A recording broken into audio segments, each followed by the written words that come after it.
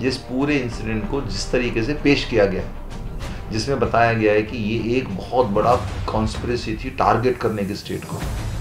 तो मेरा जो इंटेंशन है इसको जो इस माइंडसेट को इस परसेप्शन को तोड़ने का है जिससे कि जो नए जो इसमें रियल कल्पिट हैं चाहे वो किसी ने किया हो हम्म। उसका नाम चाहे कुछ भी हो जी। वो लोग पुलिस की सही इन्वेस्टिगेशन होंगे तो वो लोग फंसेंगे बेसिकली देखिए कांग्रेस पार्टी के वर्कर बोलते मतलब कांग्रेस के वर्कर नहीं रहते। हम्म, यानी कांग्रेस पार्टी इन्वॉल्व नहीं होती डायरेक्टली हम्म, हर एक आदमी अपने इंडिविजुअल लेवल पे करता है।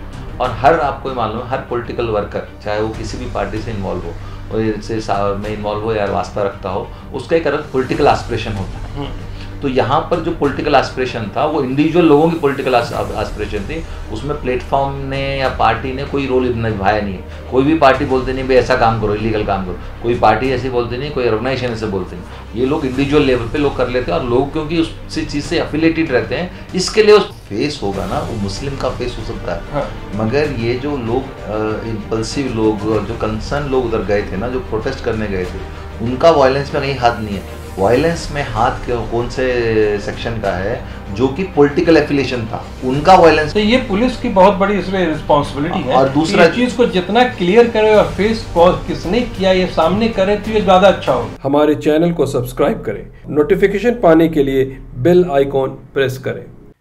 मैं फरहान और आप देख रहे हैं इंडियन मीडिया बुक और आज हम बात करेंगे डीजे हल्ली और केजे हल्ली के बारे में कि अभी तक क्या हुआ है और इस बात पर रोशनी डालेंगे एडवोकेट ताहिर ताहिर साहब, आपका बहुत बहुत शुक्रिया स्टूडियो आने के लिए। ताहिर साहब, अभी तक जो हालात हुए हैं डीजे हल्ली और केजी हल्ली में तो अभी तक का क्या अपडेट है? सुनने में आया कुछ चार्जशीट नए बने हैं तो क्या अपडेट है? देखिए, अब तक डीजे हल्ली में टोटल 73 केसेस जो बुक हुए हैं और अब नई कोई नई केस नहीं बुक हो रहे हैं। और अब तक तकरीबन साढ़े चार सौ के ज़्यादा लोग अरेस्ट होके हैं, यानी उनके नाम आके हैं। उनमें बहुत सारे लोग अरेस्ट हुए हैं। एक, साढ़े तीन सौ के करीब लोग अरेस्ट भी होके हैं। तो इनमें जो दो मेन केस हैं, जो कि डीजे हल्ली का पुलिस स्टेशन अटैक और के हल्ली का पुलिस स्टेशन अटैक इन दो में गवर्नमेंट ने यू इन्वोक किया है और इसको इन्वेस्टिगेशन एनआईए कर रही है। साथ ही साथ एक तीन और जो मेन केस है उसमें एक केस है क्राइम नंबर 194 जो कि नवीन के ऊपर है, जिसने हुजूर के ऊपर गुस्ताखी की, उस पोस्ट के बारे में एक है और एक है 219 जो कि डीजेली एमएलए के घर को जलाने का एक केस है। और एक और केस है 208 जिसमें जो डीजेली का है और वो केस है नवीन के घर को जलाने का। तो अब तक क्या है तीन केस में डीजेली पुलिस ने चार्जशीट डाल दी। तो दो केस में एनआईए इन्वेस्टिगेट कर रही है और बाकी जो सारे केस हैं वो लोग state government police state government police उसकी इन्वेस्टिगेशन कर रही है। तो इनमें तीन केस में चार्जशीट आ गई है। तो इन तीन चीज़ केसों में जो चार्जशीट आई है उसमें सबसे बड़ी अहम डेवलपमेंट क्या है कि इसमें कुछ ऐसे लोगों का नाम जो आया है सामने जिन लोगों को पर पहले शक था मगर पुलिस ने चार्जशीट फ़ाइल कर कर इस शक को क्या नाम है एक यकीन की तरफ़ बदल दिया और उनमें से एक सब में उन्होंने जो फिफ्टी टू लोगों के ऊपर चार्जशीट दाखिल की है टू वन नाइन केस में crime number two one two one two one nine उसमें accused number fifty one Sampath को बनाया जो कि एक डीजे हली का एमएलए था और एक्स एम मेयर भी और फिफ्टी टू में ए आर जाकिर जो कि पुलकेशी नगर का एक कॉरपोरेटर है। ये अब तक की डेवलपमेंट है। तो तो इसमें मिस्टर संपत से तो पहले भी पूछताछ हुई थी इसके बारे में क्योंकि एक मामला आया था कि बहुत सारे फ़ोन कॉल उस वक्त आए थे उनके पीए के साथ तो उसके बारे में तो एक बार इंक्वायरी हो चुकी थी। ने देखा होगा कि जैसे इंसिडेंट हुआ था एक वीडियो आ रहा था हम्म। जिसमें कि अरुण ना लोगों को पैसे बांट रहा था।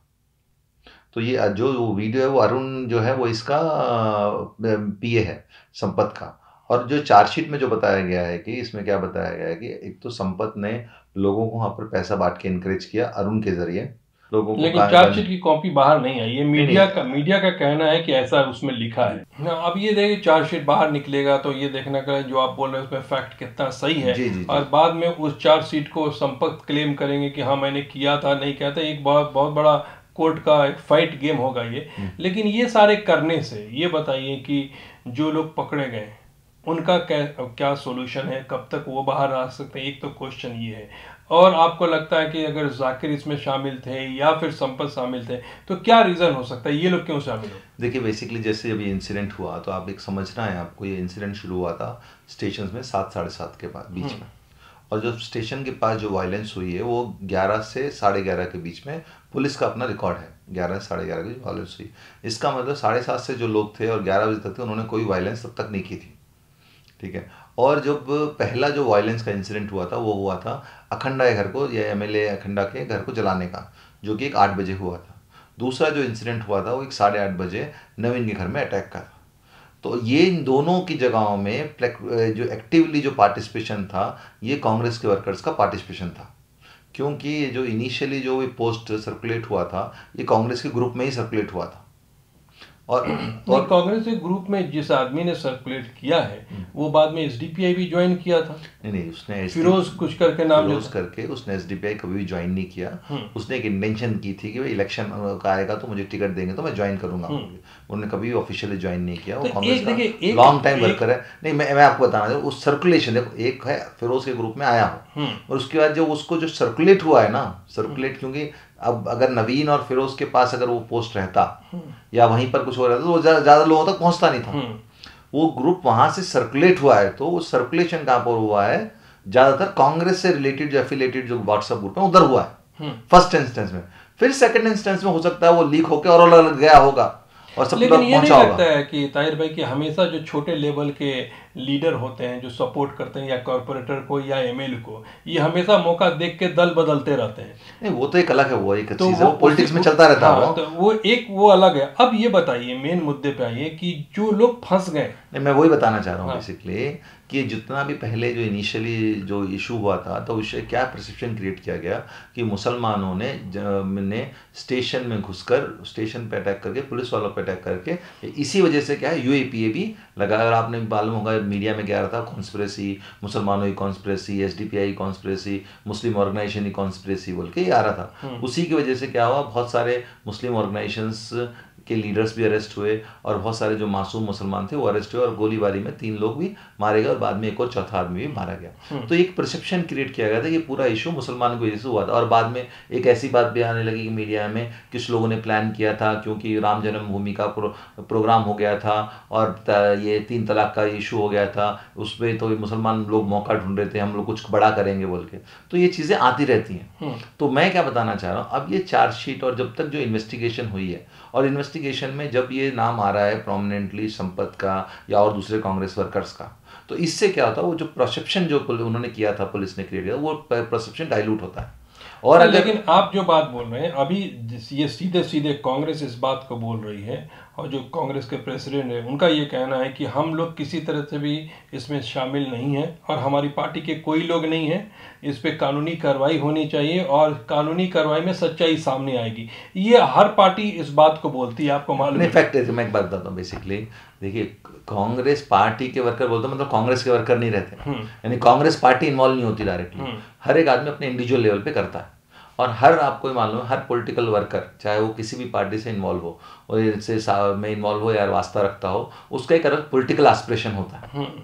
तो यहाँ पर जो पॉलिटिकल एस्पिरेशन था वो इंडिविजुअल लोगों की पॉलिटिकल एस्पिरेशन थी। उसमें प्लेटफॉर्म ने या पार्टी ने कोई रोल निभाया नहीं है। कोई भी पार्टी बोलते नहीं भाई ऐसा काम करो इलीगल काम करो। कोई पार्टी ऐसी बोलती नहीं कोई ऑर्गेनाइजेशन ऐसे बोलते नहीं। ये लोग इंडिविजुअल लेवल पे लोग कर लेते हैं और लोग क्योंकि उस चीज़ से अफिलेटेड रहते हैं इसके लिए उस पार्टी या ग्रुप का नाम फ़ायदे के हिसाब से वो करते हैं। और ये जो भी इशू हुआ है ये सिर्फ़ जो जो इस जो सेकेंड टायर लीडरशिप है कांग्रेस हम्म। के जो कि इंडिविजुअल लोगों का एक अपना पर्सनल एस्पायरेशन था कि वो लोग पुलकेशी नगर और सरगुना नगर के जो एम हैं उनको नाम के बदनाम करके जब आगे इलेक्शन आए तो उनकी सीट को क्लेम कर सकें उनके पीछे ये रीज़न था ये आप सोच रहे हैं लेकिन ये साबित करना जो आपकी ये सोच है कि उनको ये फ़ायदा हो सकता है। ये पुलिस लेकिन ये पुलिस की मिस्ट्री जो है इसको जब तक नहीं सुलझाएगी ये समझना बड़ा मुश्किल होगा क्योंकि इस लेवल तक का इतना बड़ा प्लान करके कि आगे इलेक्शन होगा। मैं आपको बताता हूँ ये कोई प्लान नहीं करता। बेसिकली एक एस्पिरेशन होती है। ये क्या स्पॉन्टेनियसली डिसाइड होता है हर चीज़। इसमें कोई भी प्लान करानी कि भाई हमें पहले एक वो पोस्ट सर्कुलेट करेंगे फिर हम लोगों को जमा करेंगे फिर इसको हम लोग करेंगे फिर उसको ले करेंगे फिर ऐसा अटैक करेंगे ऐसा प्लानिंग करना इम्पॉसिबल है प्रैक्टिकल हाँ। ठीक है? दूसरी चीज़ ये पूरा एक लोगों के माइंड में एक एस्पिरेशन रहता है एक लोगों के जहन में एक मेरे को ऐसा ऐसा करना होता है। हाँ। फिर उनको एक अपॉर्चुनिटी मिलती है। वो अपॉर्चुनिटी को अपने फ़ायदे लिए कैसे इनकैश कर सकते हैं। अब आपको जैसे मालूम है कि के जी एल के इशू में एक वहाँ का एक कॉरपोरेटर का हस्बैंड भी अरेस्ट हुआ है। हाँ। ठीक है। और उसके फ़ोन कॉल्स भी दूसरे कांग्रेस लीडर से थे वो। ठीक है। अब हम लोग सिर्फ़ ये सोच लें कि भाई कि उसने सिर्फ़ इसलिए किया उन्होंने पूरा प्लान किया था ये किया था तो ये इमेच्योरिटी है इमेज इसी के लिए पुलिस इन्वेस्टिगेशन होती है।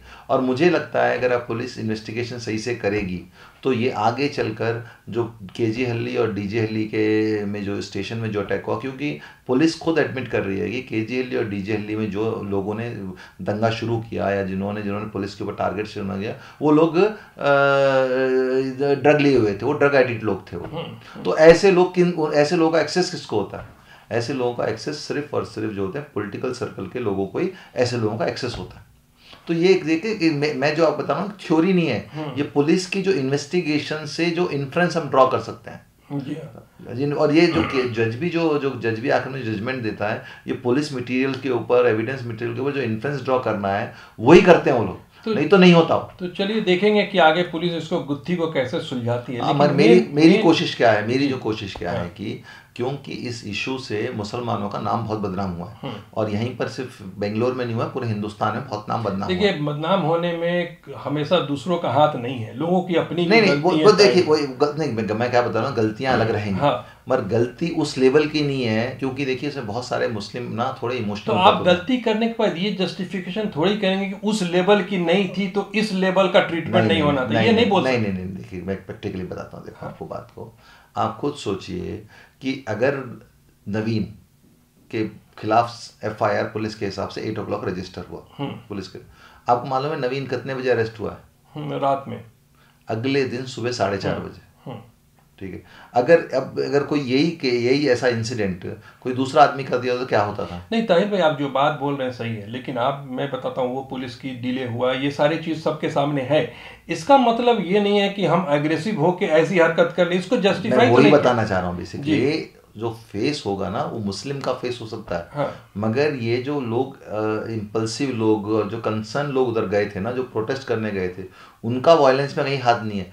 वायलेंस में हाथ कौन से सेक्शन का है जो कि पॉलिटिकल एफिलिएशन था उनका वायलेंस में हाँ, हाथ तो ये चीज़ क्लियर होना तो, ज़रूरी तो, है तो जो आप बोल रहे तो हैं। तो मैं क्या बताना हाँ। चाह रहा हूँ अगर हम लोग पॉलिटिकल एफिलिएशन को और रिलीजियस आइडेंटिटी को सेपरेट कर देंगे तो मालूम दूध का दूध पानी का पानी हो जाएगा कि इसके पीछे कौन था। तो ये पुलिस की बहुत बड़ी इसमें रिस्पॉन्सिबिलिटी है और दूसरा चीज़ को जितना क्लियर करे और फेस किसने किया ये सामने करे तो ये ज़्यादा अच्छा हो दूसरा एक और चीज़ है कि आपको जैसे मालूम है जैसे इमीडिएट इंसिडेंट होने के बाद आनंद फानन में बहुत सारे मुस्लिम इलाकों में घुस के पुलिस बहुत सारे नौजवान बहुत मासूम लोगों को लोगों ने अरेस्ट कर लिया। हम्म। ठीक है? अब मुझे भी क्यों मुझे भी इंफॉर्मेशन मिल रही हैं कि बहुत सारे लोगों को इन्वेस्टिगेशन के बाद फाइनल चार्जशीट में छोड़ दिया जाएगा। ये भी एक इन्फॉर्मेशन है। ठीक है? तो ये सारी चीज़ें क्या होती है? मैं मेरा मेरा मेरा जो कंसर्न क्या है जैसे ही कोई इंसिडेंट होता है पुलिस क्या है? बाय डिफ़ॉल्ट किसी को एक कम्युनिटी के लोगों को टारगेट करना है पुलिस इन्वेस्टिगेशन करे जिन लोगों ने सच में किया है हम्म। मैं भी उनको सपोर्ट करता हूँ कि वो लोगों को अरेस्ट करना चाहिए उनको सज़ा मिलनी चाहिए। क्योंकि एक स्टेशन में अटैक करना बहुत बड़ी चीज़ है मगर उसके जद में उसकी वजह से ना ही कोई मासूम लोग फंसने चाहिए ना ही कोई मुस्लिम ऑर्गेनाइजेशन या किसी भी तबके की ऑर्गेनाइजेशन कोई बदनामी होना। तो अब ये बताए साहब ये जो लोग फंस गए चार सौ लोग करीब तकरीब साढ़े तीन सौ लोग हैं क्या लगता है कि कब तक देखिए इनमें इनमें से जो मेजोरिटी लोग हैं वो लोग यू ए केसेस में हैं। Majority hmm. लोग हैं तकरीबन एक 280 लोग उसमें हैं फंसे हुए हैं ठीक है हम्म। तो इन लोगों की इन्वेस्टिगेशन एन आई कर रही है और इनकी इन्वेस्टिगेशन में जो पहला ब्रेक आएगा वो 90 डेज़ के बाद आएगा यानी अब समझिए अगर नवंबर में ये नवंबर ग्यारह तारीख को 90 डेज़ होंगे हम्म। तब क्या होगा फ़र्स्ट ब्रेक थ्रू आएगा जिसमें कि वो ये जो एन आई ए वाले एक्सटेंशन के लिए पूछेंगे तो उसकी जो रिपोर्ट फ़ाइल करेंगे उससे बहुत सारी इन्फॉर्मेशन मिल सकती है इस चीज़ तो उसके बाद अगर उसमें बहुत सारी इन्फॉर्मेशन मिली फिर जिन लोगों को बेल मिल सकती है तो बेल मिल फिर उसके बाद जो नेक्स्ट पे एक्सक्लूव आता है वो सिक्स मंथ यानी कि वन एटी डेज़ के बाद आता है। तो जहाँ जो मुझे इन्फॉर्मेशन जिस तरह से इन्वेस्टिगेशन हो रही है तो मुझे लग रहा है कि बहुत सारे जो मासूम लोगों को इन छोटे इन केस मेन जो केस हैं उनसे उनको निकाल दिया जाएगा उनका हम्म। नाम निकाल दिया जाएगा क्योंकि उन्होंने ये केस ना ही वो इस्टेब्लिश कर सकते हैं और ना ही क्या नाम है उन लोगों ने ऐसा किया नहीं। मगर उनको भी उस जिस केस से निकालेंगे तो उनका नाम भी क्या होगा? जो दूसरे जो एफ़ हैं जिनमें राइटिंग के उनमें उनको एक्यूज बना देंगे। ये एक पुलिस की मोडस ऑपरेंडी है अपने आप को गलत नहीं साबित होने देने के लिए वैसा कर क्योंकि अगर वो लोग ऐसे ही रिलीज़ कर देंगे तो नेचुरली क्या होगा? कोई जाके पुलिस के ऊपर एलिगेशन करेगा पुलिस के ऊपर केस करेगा। हम्म। तो पुलिस क्या करेगी? जो यूएपीए केसेस को छोड़ के बाकी लोगों को मैं बाकी केसों में एक्यूज बना दी तो जो लोग इन दो केसों में अरेस्ट हुए उनके लिए जो एक्चुअल जो रिलीफ आएगा वो छः महीने के बाद ही आएगा। यानी कि वन एटी डेज़ खत्म होने के बाद।